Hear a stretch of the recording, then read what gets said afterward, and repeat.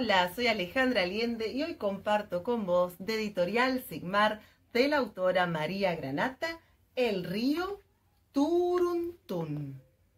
Turuntún, Turuntún es un río aturdido. ¡Qué río, qué río!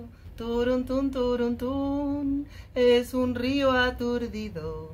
¡Qué río, qué río! Turuntún es un río que nació en una cascada y con tanto ruido quedó aturdido y sin memoria. Pues un día en que iba haciendo su recorrido se dio cuenta de que le faltaban cuatro peces.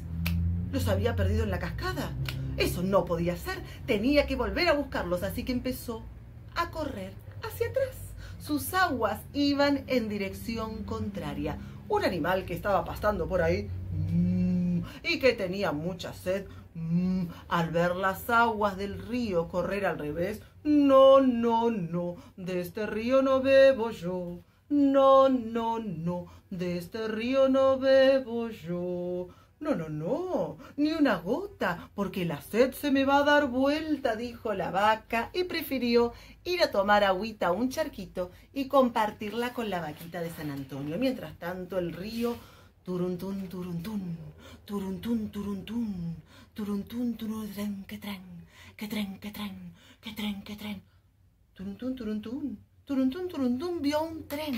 Y al tren se subió. Así que era turuntún, turuntún, turuntún en el tren iban navegando los peces, por suerte ya los había encontrado, pero los pasajeros del tren muy contentos no estaban. Algunos nadaban y otros apenas sí flotaban. Y Turuntún feliz, ocupando todos los vagones y dejando parte de su larga cola de río correr por las vías.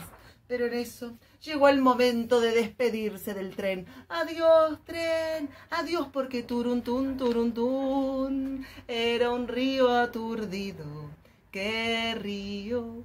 ¡Qué río! El río se acordó, por más aturdido que estaba, tuvo un recuerdo. Claro, mi lugar es en una pradera llena de pastitos.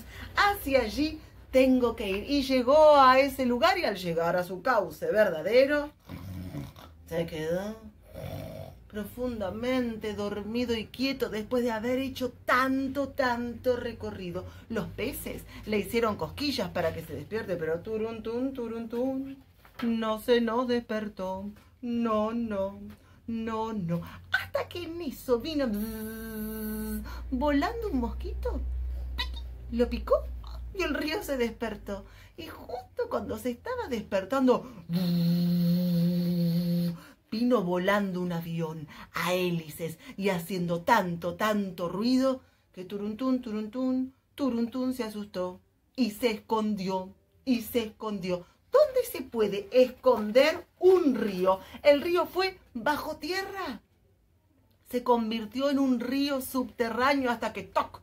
Chocó con una roca que le dijo, de aquí no pasarás, te vas ya. Así que Turuntún salió nuevamente a la superficie. Turuntún, Turuntún, es un río aturdido. ¡Qué río! ¡Qué río!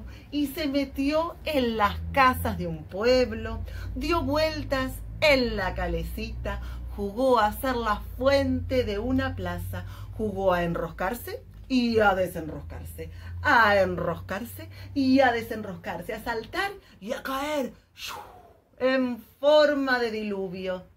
Todavía sigue andando de un lado al otro. Aparece un día por aquí, desaparece un día por allá, sin dejar mojado el suelo, porque se lleva todas las gotas. Turuntun, turuntun. Turuntún es un río aturdido. ¡Qué río! ¡Qué río! El río Turuntún de María Granata, editado por Editorial Sigmar.